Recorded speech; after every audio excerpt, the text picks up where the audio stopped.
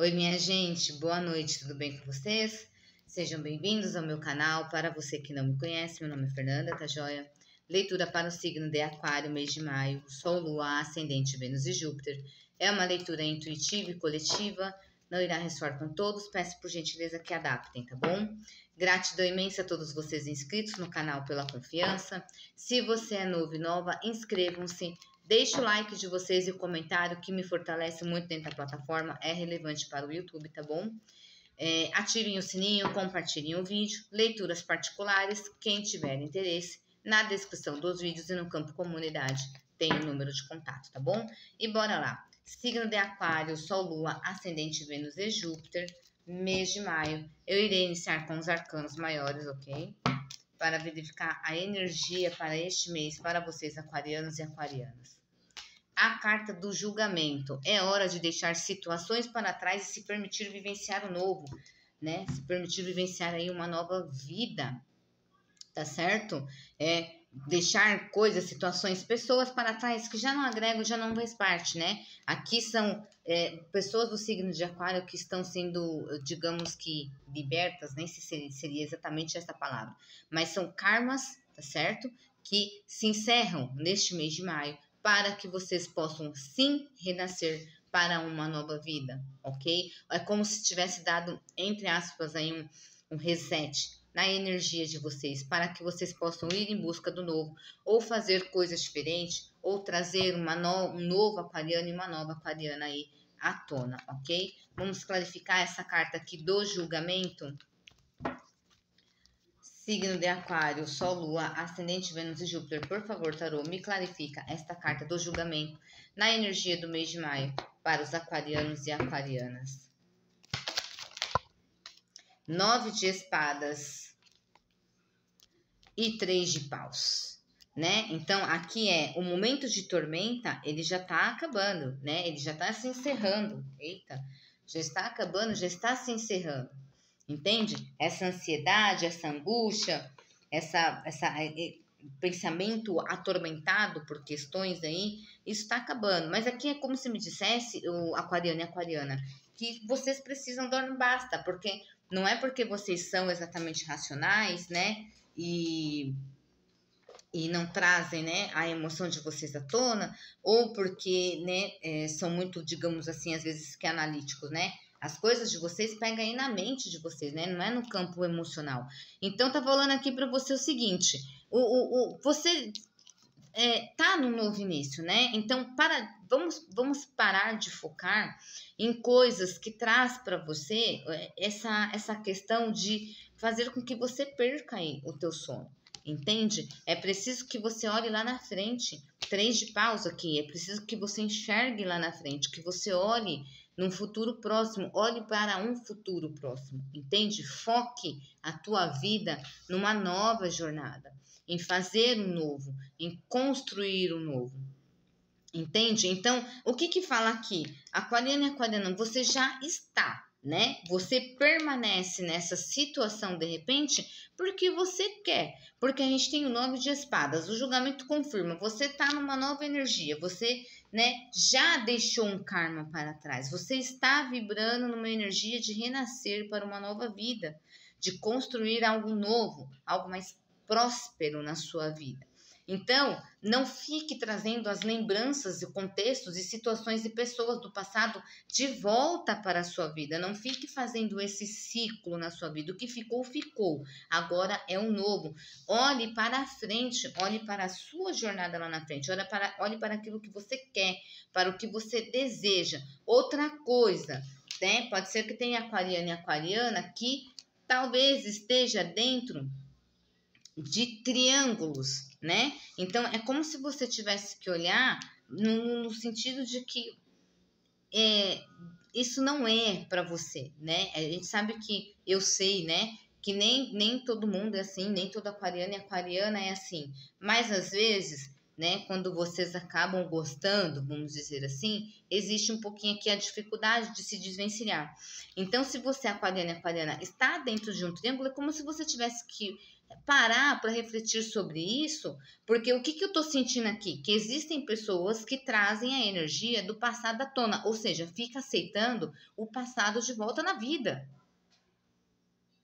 Você está entendendo? Então, é essa questão aqui que para mim é o que está pegando de repente na energia de vocês. Por que, que a tua vida não anda? Porque você continua aceitando o passado na sua vida sendo que era um karma. Às vezes você estava dentro de um relacionamento que era um karma, você já cumpriu isso, você já passou por aquilo, você já aprendeu o que você tinha que aprender com essa pessoa.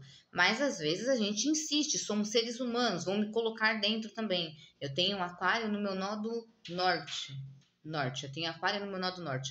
Então, é, às vezes a gente insiste, né, em, em questões. Também sou ser humano, então me coloco coisas que já se encerraram. A tua vida não tá andando por quê? Porque segue trazendo o passado. Seja querendo que o passado volte na sua vida ou trazendo aqui no teu mental. Te traz o quê? Angústia, ansiedade, depressão.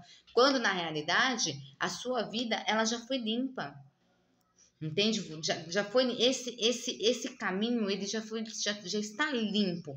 Para quê? Para que você construa um novo, porque três de paus é a construção de algo novo.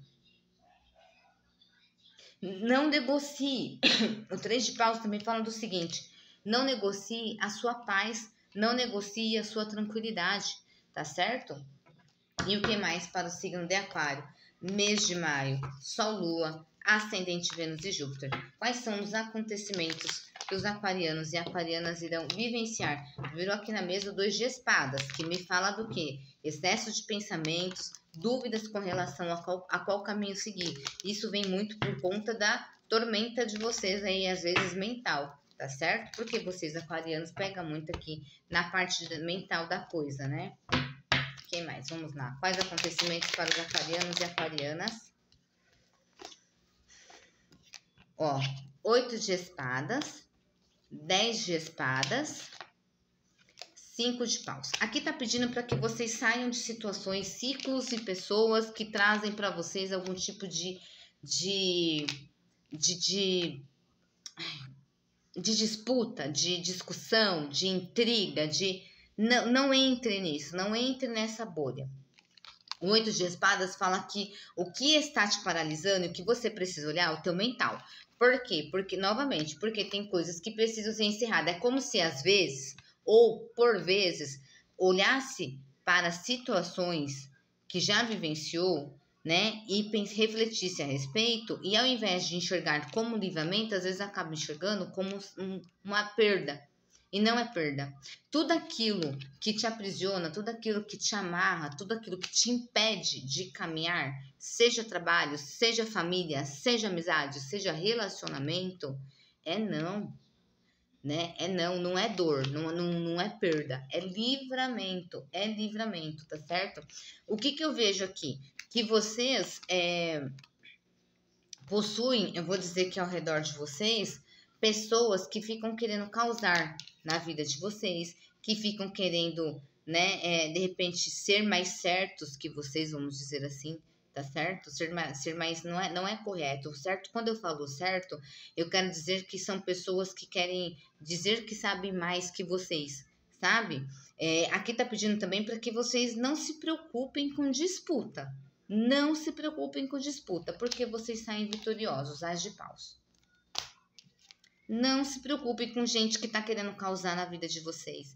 Não se preocupe com gente que está querendo disputar, disputar não, disputar algo aqui com vocês. Percebam que tem pessoas ao seu redor que realmente não quer ver o seu crescimento, que fica enchendo a tua cabeça de caraminhola por vezes, por vezes, tá certo? Porque eu sei que vocês, né, são pessoas que fazem aquilo que vocês acreditam que é certo para si, e isso é maravilhoso, mas geralmente tem pessoas que ficam tentando paralisar e às vezes alguns pensamentos ficam rondando a nossa mente.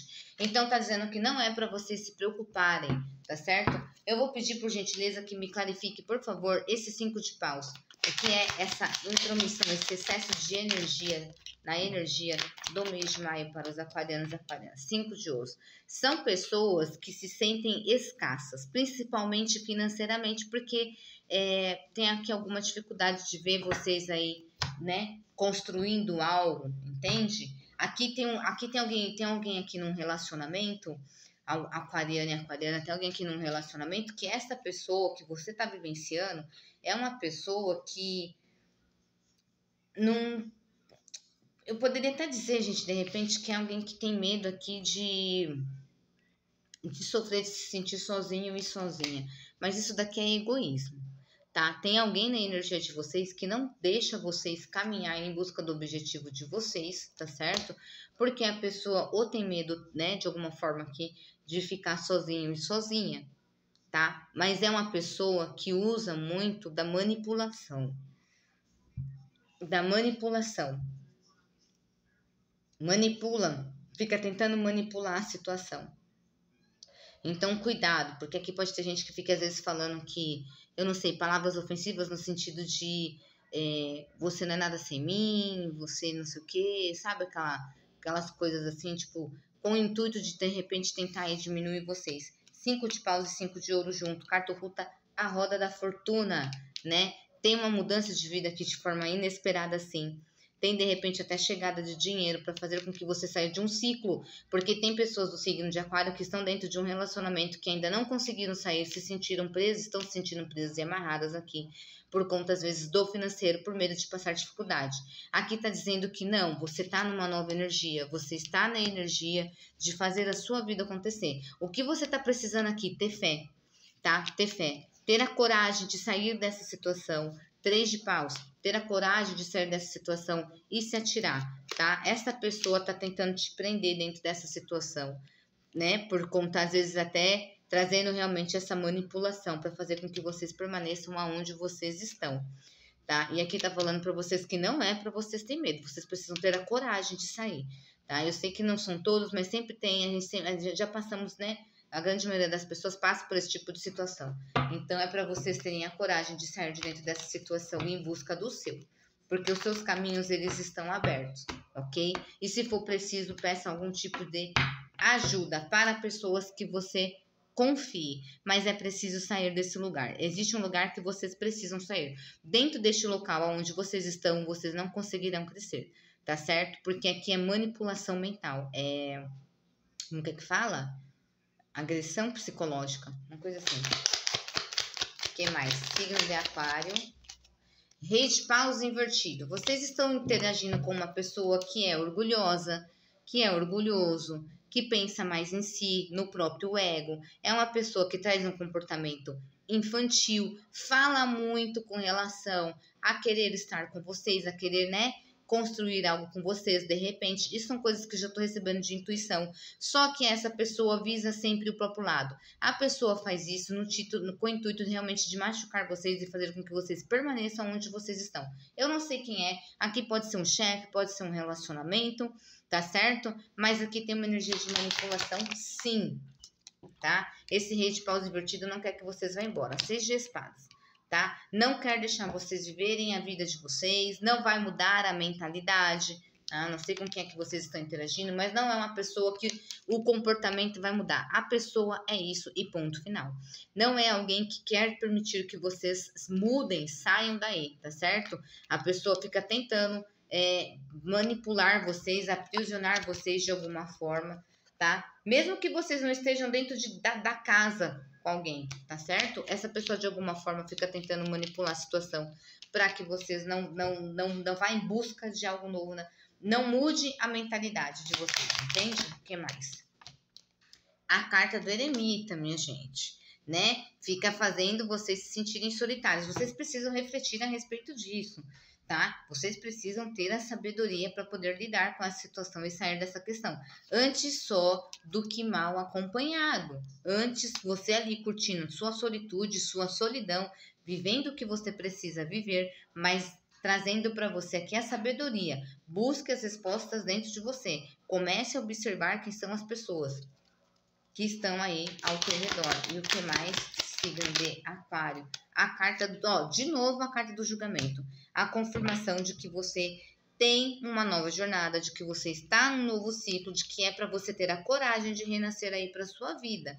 Esse mês vai pedir para que vocês façam, façam isso. Olha, eu sinto que vocês vão entrar numa energia de é, racional extremo.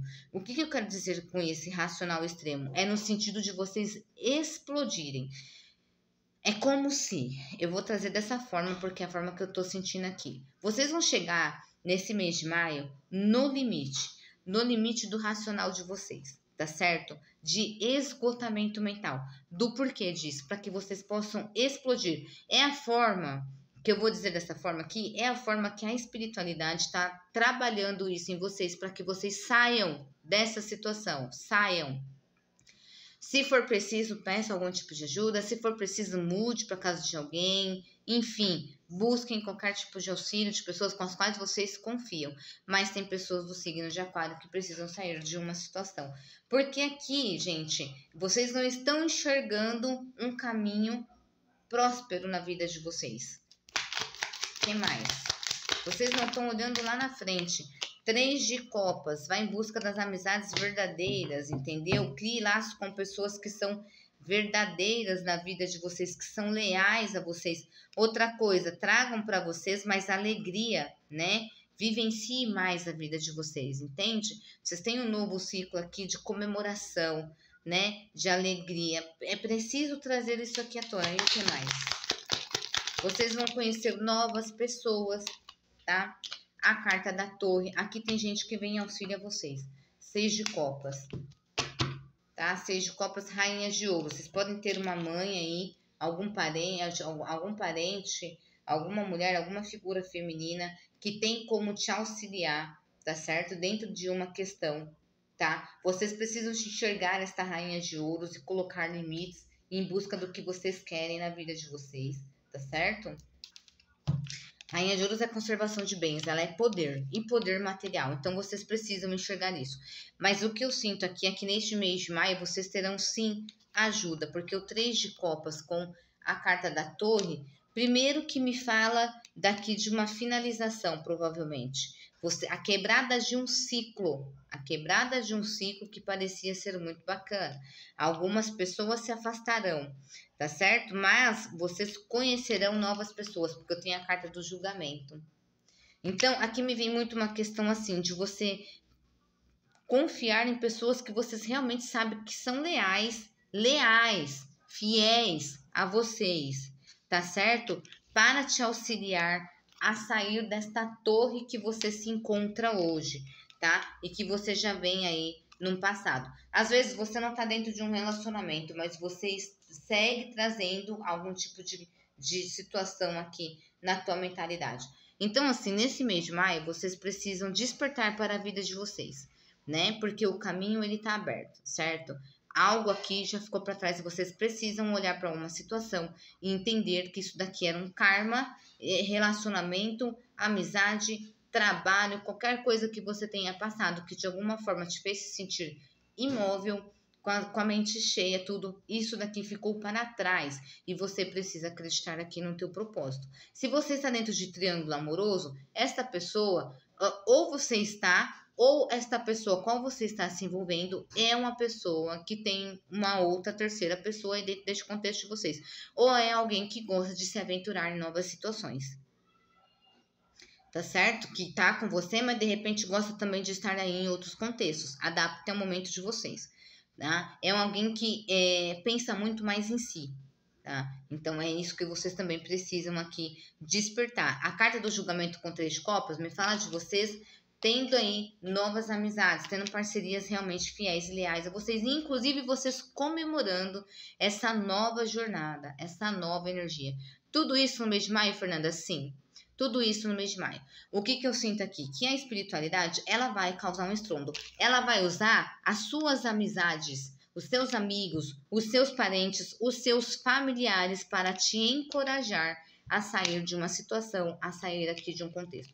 Então, vocês vão perceber que vão ter amigos de vocês que vai ofertar casa, que vai falar para vocês que o que você precisar vão te ajudar de alguma forma. Vocês vão ver que as pessoas elas vão ser pontuais e taxativas. Elas vão insistir, tá certo? Para que vocês realmente saiam aqui de um contexto. Entende? E aqui, o seis de copas com a carta da torre, né? É para vocês é, olharem para uma situação passada e perceberem que acabou, porque a gente tem a torre atrás dos seis de copas, ok? Então, uma situação que ficou lá atrás já desmoronou para que o novo possa surgir.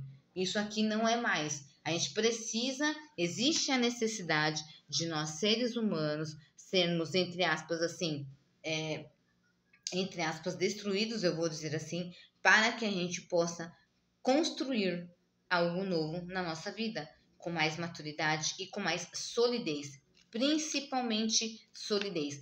Por que disso? Porque pode ser realmente que tenha pessoas aqui de aquário que fiquem querendo que o passado manipulador, narcisista, volte na energia. Cuidado com isso. Vocês vão viver a mesma situação se vocês encontrarem, se vocês se vocês permitirem que esta pessoa, não sei quem é, volte na energia de vocês, ou se vocês permitirem ainda estarem dentro de um trabalho, dentro de um contexto onde vocês percebem que o ambiente não é favorável, que as pessoas ficam tentando de alguma forma denegrir a tua imagem e ficam tentando disputar as coisas com você, você, você continuar aqui, isso que vai te adoecer, tá certo? Outra coisa, cuide aqui da tua mentalidade, tá? Cuide bastante aqui da tua mente. No quesito saúde, você precisa prestar atenção nessa sua mente aí para que você não se sinta. É, não entre e não caia em depressão. É com relação a isso que eu quero falar, tá bom? que mais? Signos envolvidos: Libra, Gêmeos, Aquário, Ares, Leão, Sagitário, Câncer, Escorpião, Peixes e Touro, Virgem, Capricórnio. Energia que predomina. Escorpião tá muito forte na energia de vocês, muito forte mesmo, tá certo? Virgem. Isso, Escorpião e Virgem. São as duas energias que estão assim predominando. Temos todas as energias, não se apeguem aos signos, ok? E eu vou tirar aqui uma cartinha como conselho com os arcanos maiores para os aquarianos e aquarianas qual carta conselho, qual arcano maior representando o conselho para o aquariano e aquariana, tarô.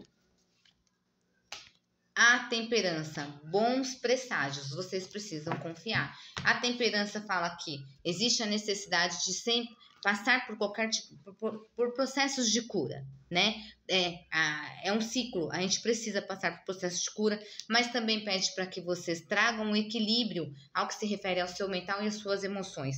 Ou seja, tua mente e o teu emocional precisam estar aí, né? Caminhando, vamos dizer assim, vibrando na mesma na mesma vibe, vamos dizer assim. Outra coisa, a temperança pede para que vocês confiem tá certo? Na espiritualidade de vocês, para que vocês peçam aí é, ajuda sim também a espiritualidade de vocês, ok? Aqui tem realmente o amparo da própria espiritualidade, mas também fala de bons presságios, ou seja, vocês precisam acreditar que existe é, coisas novas sim para se viver, novos ciclos sim para acontecer na vida de vocês, mas que muitas das coisas às vezes a gente precisa ter a tomada de atitude, tá certo? E vocês precisam perceber que aonde se está num local doente não se tem como crescer e não se tem como ter um equilíbrio. Entenderam o que eu quis dizer? Minha gente, essa é a leitura que eu tenho para vocês, signo de Aquário. Eu espero de alguma forma ter auxiliado vocês. Gratidão imensa. Fiquem com Deus e até.